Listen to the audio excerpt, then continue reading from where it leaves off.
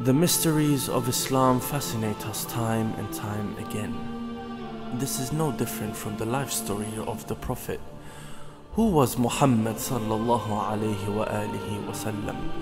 An illiterate desert merchant who one day stumbled upon amazing Arabic rhetoric? Or was he the creation of Allah's greatest light, sent down to earth to pull man out of ignorance and bring them to the purest of truths?